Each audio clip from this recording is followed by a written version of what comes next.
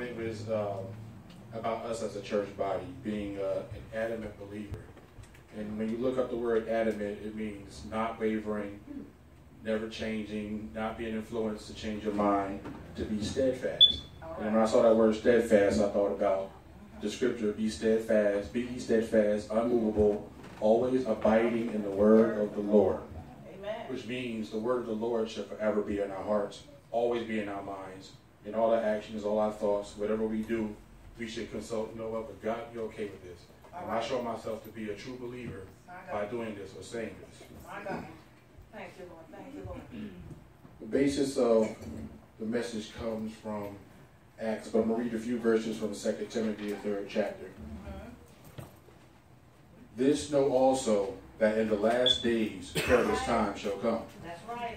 For men shall be lovers of their own selves, mm-hmm. covetous, boasters, proud, blasphemers, disobedient to parents, mm-hmm. unthankful, unholy, without natural affection, truce breakers, false accusers, incontinent, fierce, despisers of those that are good, mm-hmm. traitors, heady, high-minded, lovers of pleasures more than lovers of God, all right, all right. having a form of godliness, but denying the power thereof.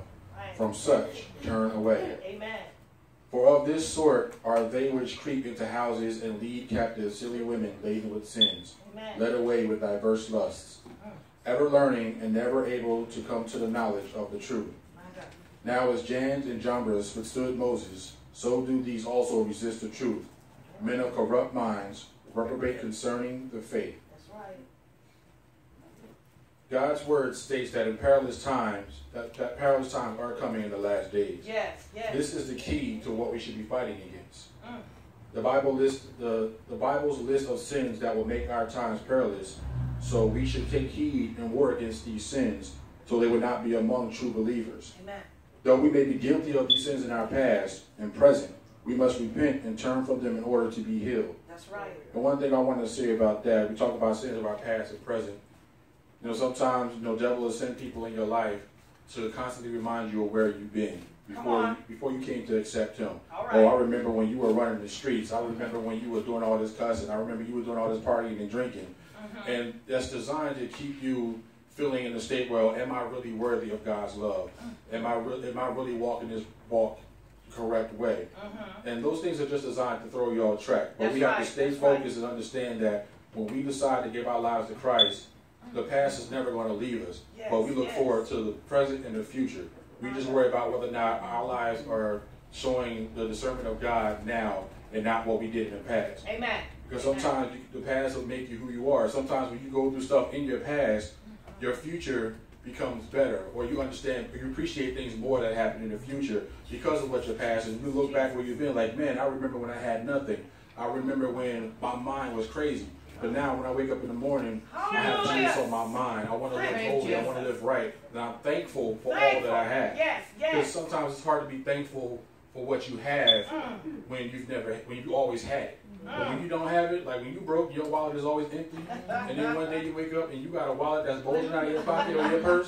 Be thankful for that money. Come on now. Come on. And you also want to not do things that's going to cause that wallet to empty. Amen. Amen. Praise the Lord. Thank the Lord. We're going to just go through the list of these sins uh, real quick. Uh, things that we can do to overcome the things that are listed in Second Timothy. Come on now. But first, we start with lovers of ourselves. Mm-hmm. We are, you know, we want to give, we want to get all the time, but we don't want to. We don't want to, uh, you know, we want to receive, but we don't want to give. Come on. You know, we always want somebody to give us something without expectation of us having to give anything back. Mm-hmm. But the word says, you know, word says it's more blessed to give than to receive. So we can be giving, expecting nothing in return. Amen. Amen. Boasters. Boasters Ooh, are people who always boast about their accomplishment. I have this, I have that. They put themselves on a high pedestal like yes. they're above you because of material things that they had, Yes. Or maybe a position or social economic position they have in life. Uh-huh. And they feel, oh no, this is what I have. Look at me. Uh-huh. But that's not what it was about. Uh-huh. Rejo- we're supposed to rejoice with others in their accomplishments. Yes. Don't yes. be mad, oh, so what they got this, so what they got that, or hate on somebody because they got something. We should Come be on, thankful and congratulate them and enjoying Amen. their enjoyment Amen. and their happiness Amen. because of what they receive. Amen. This is things that we do to build ourselves up together as a church, as a body. Mm-hmm proud. Proud goes, goes along with the boasters. where you know we have our chest out like we're better than somebody else. But Uh-huh. the Bible says we're supposed to have a meek spirit, Yes. be humble. Yes. Yes. Blasphemers, blasphemers. We all know what a blasphemer is: someone who speaks against God, against the Holy Spirit. My God. And simply, we have to reverence God and respect the leaders that He places before us. Praise God. It's not our position. Like I can't go to Pastor Perkins and say, you know what, I don't like what you're doing. This is not supposed to happen. I need you to change it. That's not my place. God sets forth other leaders and. Himself to correct our leaders that they may better lead us. Yes. Our yes. job is to pray for our leaders Thank you. that they Amen. continue to live Amen. under God's umbrella Yes. and do what He says and teach us what He says. My God. In the name of Jesus. Disobedient to parents. Oh. For the, the youngest, a few that are here. And older ones too. You still be disobedient to your parents, even though I'm almost four years old. I can still be disobedient. And guess what? I can still suffer punishment for being right disobedient to my mother, even at my age. We have to honor our parents in the days of our youth, as the Bible says. Mm-hmm. And that never changes. No matter how old we get, no matter how far we move away, we are always to honor our parents. Amen. Amen. Unthankful. Mhm. Never satisfied. To me, this means never satisfied with what you have. That's right. I have a car, but I mean, God blessed me with a, a Nissan, but I really wanted a Mercedes, so I'm not really happy. Or I have an apartment, but I really wanted a big three-car garage house with an acre of land, so I'm not really satisfied with this apartment. But how about those who don't have that? How about Thank those who have nothing, you. who are walking, who are living on the street? Thank you. We are forever to be thankful and content with what we oh, have. Because when we don't have contentment, that means we're always going to seek to get more. Mm. And when we're mm, seeking to mm. get more, then we're not seeking God, we're seeking material. My God. My God. Unholy. Mm. Unholy is, is self-explanatory. Basically, you're going against the righteousness and what the principles of God set for our holy li- uh, living. And we have to reject the sinful things and fall in love with good things. Without natural affections. This is something that we see a lot of. And it's not just to the, uh, the, the gay community who go against the natural affection. When the Bible talks about natural affections, that's one of the things it talks about the most.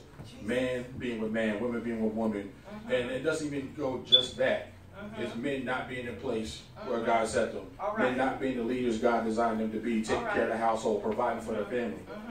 Like those things are without our natural affection, not being where we're supposed to be. My Lord. My Lord. But we will operate in the way that we are created to do. Man is not to be woman. Man is woman is not meant to be man. All We have our place right. what God said because we need that balance. Yes, I say all yes. the time, like, like like some of my friends, and I see like my friend here, like he may be feeling a certain way about a certain thing, and his wife would come to him and say, you know what? Maybe you need to look at it like that. And when I see that, I'm like balance. That's what we need to have in the house because we don't have that balance in the house. Our kids won't have balance when they grow All up, right, all and they right. won't know what their creation role is supposed to be. Yes. Yes. My Lord. My Lord. Truce breakers. Come Truce breakers. Some we confide in each other. God, God designed for us to be able to help each other, to lift each other up. And sometimes we may confide confide something personal with someone that we don't want anybody else to know, but we just have to tell somebody. Those truce breakers are those people who's going to take that and run their mouth and tell everybody what they just Oh, learned, and then hold it against you and mm-hmm. cast a light on you, and then watch as other people deride you or degrade you because of this thing. But we're supposed to keep our brothers and our sisters' personal business private. Mm. And, and, and I believe that wholeheartedly when it comes to marriage, that what goes on in the marriage between that man and that woman is not for anybody else's business, not for the mother-in-law, for the father-in-law, for the uncles, the aunts. It's for between that man and woman. Because when you, as a woman or man of God, marry a man or woman of God and be equally yoked, Yes. then your counsel is God. If Yes, you both yes, godly, then you both can hear from God and He will direct you on what you need to do. But sometimes you can't let other people know, again, your business. Because then they will try to use that against you. They will try to hold that against you Jesus. and use it to bring you down. Hallelujah. False accusers. You have those when you try to live a holy lifestyle or you know you're trying to live separate from the world. Satan will send these people to you to try to say, "Oh, uh, you're not really doing this." You know, mm-hmm. I saw you mm-hmm. doing this the other day, or mm-hmm. the way you were acting, the way you were dressed, it wasn't that of holiness. And there can be complete lies. But without evidence, we should not enjoy the speculation of what others have to say. All right now. So, like I always say, like with my example, uh, when I worked at J and J, mm. I had a woman that went to my boss and told me because she wanted me to leave the floor for whatever reason. She didn't like me for whatever reason. It might have been this, but she didn't like me. And uh, she went to my boss and said, when I asked your employee to leave, he started yelling and cussing and, and getting real rowdy. And my boss was like, you don't even sound like him. Mm-hmm. Sometimes I got to ask him to speak up. Like he's one of the most humble people I know. He's not boisterous. He's not loud. So he came to me and told me what happened. He's like, "Don't worry, I took care of it because I was upset. I'm ready to go to her. I'm like, why are you lying on me? You're not supposed to do that. but he did it for me. God Amen. sent him to fight that battle for me. Amen. And I was able to remain calm in my state and just be who I am. Amen. We have those false, um, so we also have despisers of those that are good. Again, it, it falls along with people who who look at what God is doing for you and how God is using you and some people actually get jealous of other people's yes. walk yes. and position in Christ. Yes. Where they see that, you know, you they may see you speaking in tongues, or they may see you healing, or they may just see you living holy, and they're upset about that. And they have some type of envy and jealous about that. But we should celebrate again those that God uses. Amen. Amen. Traitors Amen. also go along with the truth breakers. Uh-huh. You know, turn their back against you, whatever everything they can do to, to try to get you from succeeding, they want to do, mm-hmm. or they want to try to, to, put in somebody else's mind how you are. Mm-hmm. Like I, uh, I always reference this woman I used to work with, who everybody just uh, said, "Oh, she's mean, she's evil, she don't like to talk to nobody." And every day I would go to her, smile, "Good morning." Mm-hmm. Sometimes I wouldn't get a response. Sometimes I might get a head nod. But after a while, I started getting a response and a smile back, and then that turned into conversation. And I'm thinking the whole time, they talking about how being this woman is, they're looking at me like, how did you get her to open up? It's like I didn't have any assumptions about her. I didn't listen to what you said. Uh-huh. I approached her as right. according to right. a person that I've not met. Uh-huh. And through that, we got commu- good communication with each other. My God, my God. Be reliable in keeping your word. Yes, yes. Heady. Heady, uh, heady refers to people who cannot or get upset about receiving correction. And I know I used to be like that a lot. And even sometimes if somebody said, oh, you know, you ain't supposed to do that. And I really want to do it, I don't want to hear that I'm not supposed to do it because I want to do it. And that happens a lot. That's something that we as flesh, we can't get away from that. But we're supposed to take whatever correction, especially when we know it, and we know it's right. We know we have no business doing it. And we, so we just don't want to accept that. So we, are supposed to accept that. We're supposed to receive our correcting and, uh, and our issues when we are rebuked. High-minded. High-minded again is somebody who thinks that they're above everybody else. Uh-huh. You know, I'm I'm the pastor, so therefore you can't talk to me. You have to go through my 18 secretaries and my 15 Ooh, deacons before you can even think about getting an appointment with me. You don't know what my phone number is, my email address, or my address because you're not worthy of having that. Oh, but God said we are all to be equal with each other in, the, in a church body. No matter what position we have, we are all still brothers and sisters in Christ. Amen thinking of others as more important than yourself is something that God commands us not to do. Mm-hmm. Mm-hmm. Lovers of pleasures more than God. Mm-hmm. That's something that we as flesh we fight with a lot. Amen. You know, we uh, we have things that we want to do, and we may have a service to, to, to, God or something that we're supposed to do, but instead we choose to do things. And uh-huh. something sometimes things come up beyond your control, yes. and those things are not things that God holds against you. There's those things where, you know what, I know we have this going on, or I know that there's something I'm supposed to be doing for God, but I'm going to choose to do something else oh, on purpose. Oh, my God. We sort of love God by following His way and not our own ways. Amen. Also, love our pleasures. You know, I want to do this my way. You have a lot of denominations and separation in church because somebody decided I don't like what the doctrine is of this church. I want to change a couple of things. And I want to go ahead and I want to do this myself. So I'm going to go ahead and I'm going to start my own church. That way, I can do whatever I want to do. That's why you have so much separation Amen. in the church now. Amen. But we're Amen. supposed to be all one body, all adamant believers together. Amen. We're supposed to uh, we love God by following His way and yes, not our own. Yes, yes. Having a form of godliness, but denying the power. Come on. We, we saw that a lot in the Bible with the Pharisees who, mm-hmm. like, you know, when they were tithing, they let people know, oh, I just paid all this money in tithes. You know, it wasn't even about the tithes. It was about, I make so much money, this is how much I'm paying in tithes. Amen. Or when they were going on a fast, they would walk around moping and like, oh, man, I'm so weak. Because That's they want right. people to know right. I haven't eaten in so long because I'm fasting. Woo, and the Bible says that they have their reward. But when we when we accept the power of God, we allow the indwelling of God's Spirit to manifest from the inside out versus an outward show.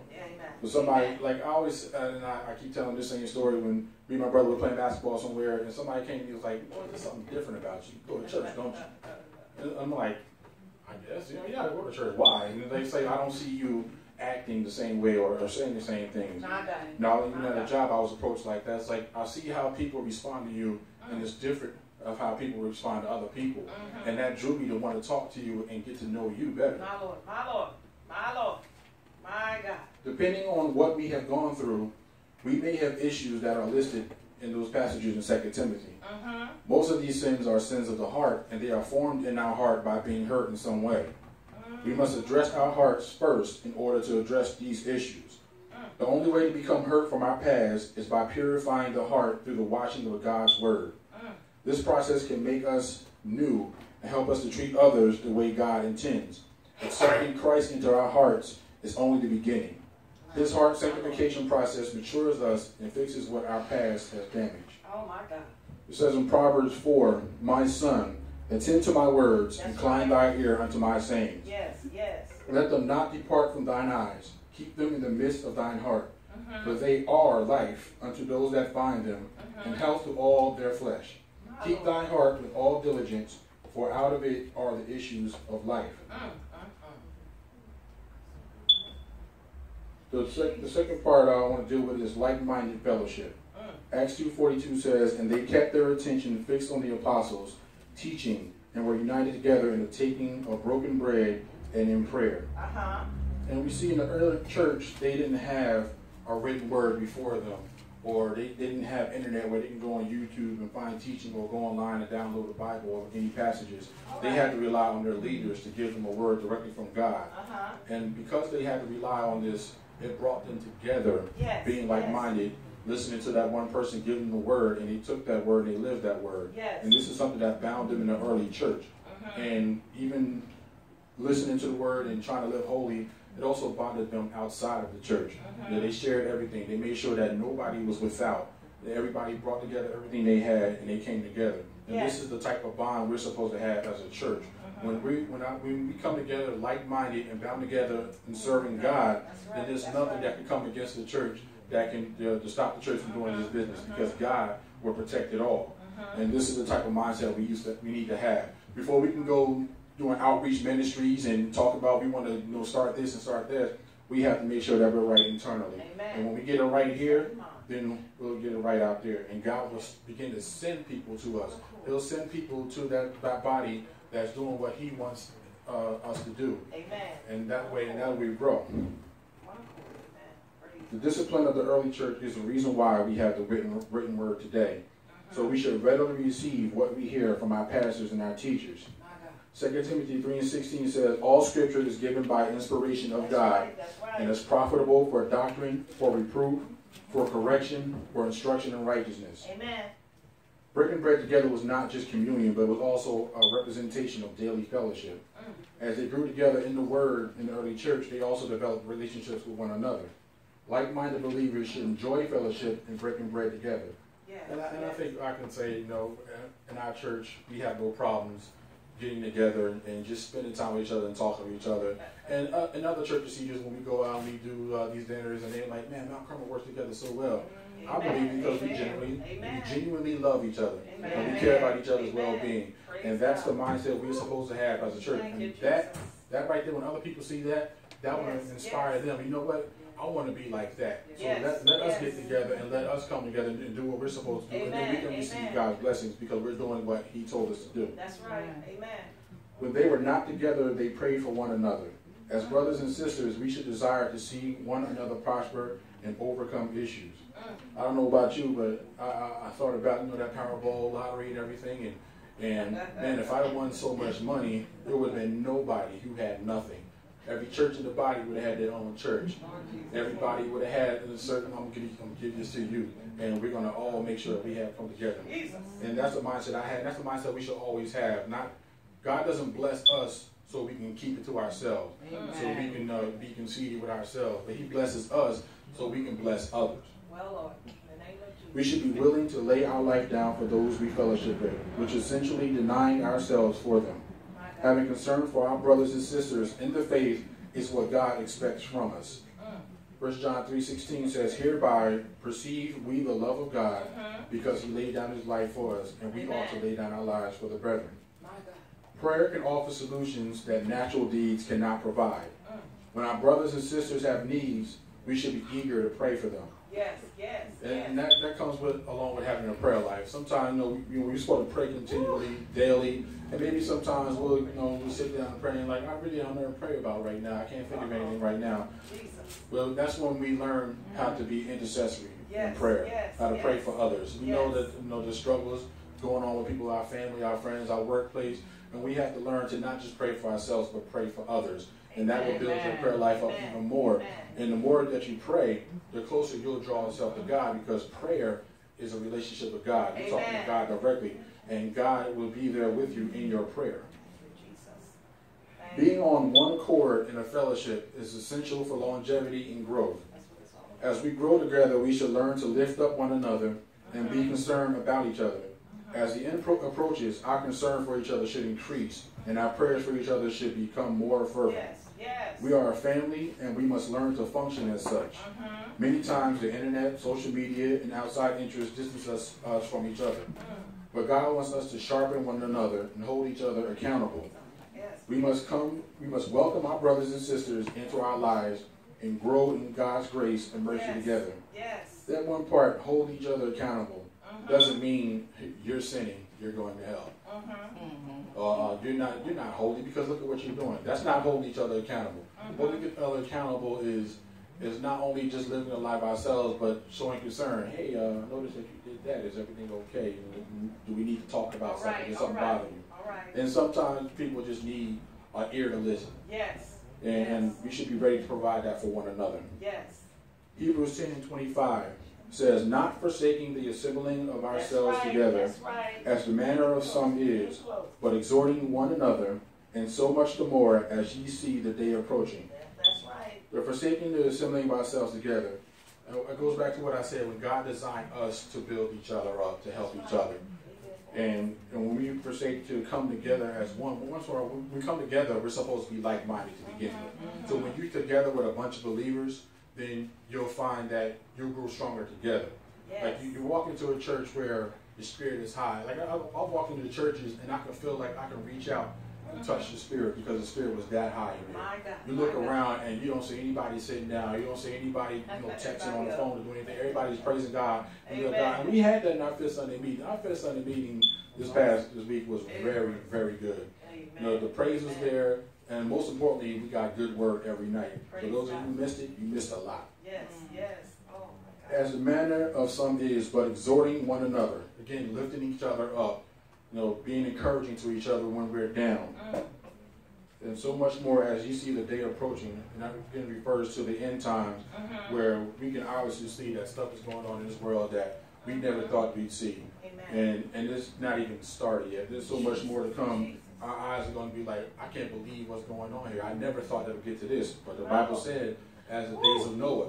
We are in those days of Noah. right. That's In right. the days of. Noah, there was nothing but evil. Mhm. If they weren't doing evil, they were thinking about doing evil. And that's what the Bible there. talks about in the days of Noah. We'll see things Mhm. that, you know, like like I talked about earlier with, you know, going against our natural affections, doing things that we're not supposed to do, that we're not created to do. Amen. Amen. Amen. Singleness of heart. Acts 2 and 43 says, And fear came upon every soul, mm-hmm. and many wonders and signs were done by the apostles, and all that believed were together, and had all things common. My Lord. The power of God was moving in the midst of the first assembly of believers. People became fearful because of what they saw God doing among his people. During this period, God's people were not seeking signs and wonders, yet they were a result of them following after the plan of God. That, that part right there, uh, Matthew 6 and 14, the wicked and indulgent generation seeketh after a sign, Mm-hmm. and there shall no sign be given unto it, but the sign of the prophet Jonas. And he That's right. left them and departed. Mm-hmm. When we talk of that scripture is basically saying we're, we're not supposed to you know come looking for you know somebody floating in the air or somebody spitting in somebody's face and they can see or, things like that. Oh But when we come together just to worship God, to, to which is our reasonable service, we're supposed to worship God, be thankful to Him, be content in what He's given us. Amen. Then those signs and wonders will come because His Spirit will inhabit the place, and when His Spirit inhabits Yes, the building, yes. then that's when you start to see the signs and wonders. Because it's not it's not through our flesh, it's not through anything that we say or do, but it's the Spirit of God that gives us power. Mhm. Amen. Those signs and wonders still occur today. God's word teaches us that prophecy should be desired more than any other manifestation of God's gift. Prophecy is a prediction that is, God, is based on God's word and relayed to his people for warnings, encouragement, and Yes, growth. yes, You see, uh, today, uh, Deacon Jones said, you know, prophet and prophets, you know, P R O P H E T, or prophet, P R O F I T. Mm-hmm. We see more today the P R O F I T. You know, people, you know, they, they stand in the line and said, God is going to bless That's you with right. that million. Mm-hmm. I watched the video. This is some diabolical stuff. I watched the video where this guy had this woman come up. Another woman, she didn't have money. She was poor. And he told her, come here, stand in front of me. I want you, no, I want you to sow a seed into this ministry. And when you sow this seed, God, is, you sow 10%, what you sow to me is going to be 10% of what God is going to bless you. I want you to open your checkbook and pull out your next check should be number 769. And she went to her checkbook, pulled it out, and it was 769. People going crazy. Oh, he's a man of God. No, that's divination. You know, he already knew what was going on there. And he told this woman, I want you to write a check for $10,000 and give it to me. And when you give me that check for $10,000, God is going to bless you with $100,000. And what did she do? Wrote that check out and gave it right to him. This is the type of stuff, this is not prophecy of God. this, that's the prophet. And this happens a lot in some of the in some of these churches. You know, I, I see stuff on TV, like I can't even turn on TV in because that's all they show. And it, it, it annoys me and I have to calm myself down and, and, and realize that this is what's going to happen. The world is going to be the world. And we shouldn't be surprised or upset or be discouraged because the world is doing what they're supposed to do. We as Christians, we're supposed to do what we're supposed to do and not have time or give thought to what the world is doing. To give a prognosis is to simply tell someone if this continues, then that will occur.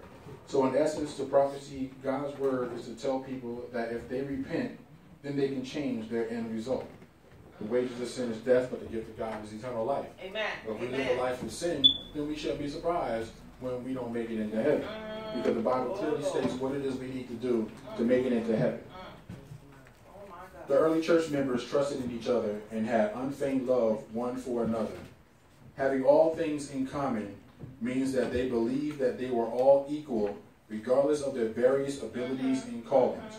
You again, you'll find in the church where you have people that don't like somebody just because of what position they're in, All right. or, or, or what Yeah. they have, what they offer God, or you're jealous of their praise. When you sit Uh-huh. there, when you can get your own praise on. Amen. Amen. Oh, I can't dance like that. Thank you all that because he can dance like that. Well, how about you get up and dance? what are you worried about that person dancing when, when you offer your praise to God? God, he, he has the praise of people, but he loves your sincere praise. Amen. It doesn't matter Amen. in what form it comes. It don't have to be pretty. It don't have. I mean, you don't have to be well tell, practiced. Because some of these people sit there and practice this stuff. Yeah. But whatever praise you give to God, when it's sincere in your heart, Woo, that's what He loves, Thank and that's Lord. what blesses Him, Thank and that's Lord. why He'll inhabit that. My God. Tell it. Tell. When we are content with who we are in the faith, then we can truly love our brothers and sisters in the faith mm-hmm. without envy and jealousy. Thank you, Jesus. And a lot of times, like I just talked about with envying someone else or being jealous of somebody else, that's not that's you not being happy with yourself. Mm. Well, Bible says be content. And he, he's it's in that word because when we're not content, our Yes, focus is. not on God. Our focus is on I want to get this, I want to get to this Yes, level, I need to get this. yes. And I'm tired of being broke and I'm tired of having nothing. But when we're content with God, what God gives us, like I said all the time, like uh, when I, I used to I used to make some decent money when I had another job. And I tell people all the time, I went from steak and shrimp to chicken fingers and fries. yeah, but I can still eat chicken fingers and fries, and that's food in my stomach. I may not have a lot now, but I have a roof over my head. Amen. I, I, I don't go hungry, My and God. even though my car may be busted, God bless me with family members who help me get around, and I appreciate Amen. that. Amen. Amen. So we have to be content Praise on the what we have. And when we show that content, even when it comes to our church, you know, we're like, oh, we're in a little storefront church. Yes. Yes. You know, we don't have a lot of stuff going on here, but we have a house of worship. Mm-hmm. There's, you go to some countries, you get killed just for calling on the name of That's Jesus. right. That's But we have to be content with what we have and take mm-hmm. care of what we have. When you're mm-hmm. content and you take care of what you have, then God will say, okay, you're ready to go to the next level. And that's when He'll bless us. Amen. Amen. Praise the Lord. God gave various gifts and callings to the members of the early church. But the Bible says that they kept a certain commonality amongst themselves so that no one felt they were better than others. Their humility and meekness made it easier for God to move because envy and jealousy were non existent. Uh-huh. We as believers must model this behavior today. We uh-huh. must see our brothers and sisters as better than ourselves. Uh-huh. We must keep all things in common and remain together in fellowship. Uh. Loving people past their issues, inconsistencies, and during their growth process. Because some people, some people grow faster than others. And if you look at somebody like, why you still doing this? I can't believe you, know, what's wrong with you? You know, you still falling for the same stuff? Everybody grows at a different rate. Our job is not to put them down for where they're at, but it's to pray for them and let them know, look, you may be struggling with this, but if you ever need to talk to me about anything, I'm here to help you whatever way I can. Oh my God. Oh my God. Uh, this, this is how we fun- must function as a church. We have all needed grace and mercy to bring us this far. Yes, yes. And make no mistake about it, we didn't come out the womb saved, speaking in tongues, holy All ghost right filled. We all struggled in our life and had certain things that we dealt with that we moved past it. Uh-huh. And, and I and I like to say, when we struggle through certain things, like I can't go to somebody and say, you need to stop drinking, mm-hmm. and it shouldn't be hard for you to stop drinking. I've uh-huh. never been an alcoholic. Mm-hmm. I don't know what that person's struggle is, mm-hmm. but that saint who used to be the alcoholic can go to that person and say, look, I was where you were, but through God, I came out of it. And that right there has a, a more of a powerful word to that person than me who have, who's never been an alcoholic. Mm-hmm. 'Cause I can't speak to the situation, but that person who has can speak to the situation and understand and have true compassion. Yes, yes. We have all needed grace and mercy to bring us this far. Grace and mercy. So we must wait on others that require the same patience. Mm-hmm. This love for each other is what causes the hand of God to move in our lives you, and causes the world to take notice as they did back then. Mm. Acts 4 and 32 says, And the multitude of them that believed were of one heart and of one soul. Neither said any of them that all of the things which he possessed was his own, mm. but they had all things common. And, and the whole purpose of, of what I'm talking about today is we as a body, you know, being together as one, not just in anything dealing with outside the church, but just coming together and being like-minded to serve God and to live God's will. And when we come together and we're on that one accord, then there's no height that God cannot take us. He can take us as high as we, even beyond what we can think, because we're serving Him and we're doing what He tells us to do, live according to His word. We're not seeking what we want in the, the natural or the carnal, Come but we're now. seeking Him. Matthew 6 and 33 is the reason why it's my favorite scripture. But seek ye first the kingdom of God and His righteousness, and all these things shall be added unto you. So if we're seeking God, and the only That's thing we're right, seeking is that's God, right. then we're not going to have to worry about anything else because He's going to bless us. He's going to give us what we need and what Oh, we yeah. want Mm-hmm. because we're obe- being obedient to Him. He doesn't care about all the, the, the material things, the money, the cars and houses and all that stuff. He doesn't care about that. Mm-hmm. He, he'll bless us with that because He wants to see us happy and because we are being obedient. Amen. Think about as a parent, you're not going to reward your disobedient child by giving them stuff when they're constantly being disobedient. But when they mm-hmm. do what they're supposed to do, Come on now. then all right, I'm gonna give you what you want because you earned it, you worked for it. Mm-hmm. And I remember when we were young, we were getting allowance. If we mm-hmm. didn't do our chores, we weren't getting an allowance. It wasn't something that was set in stone like here, here's your money. No, we had to work for that, Amen. and that's how you teach that child.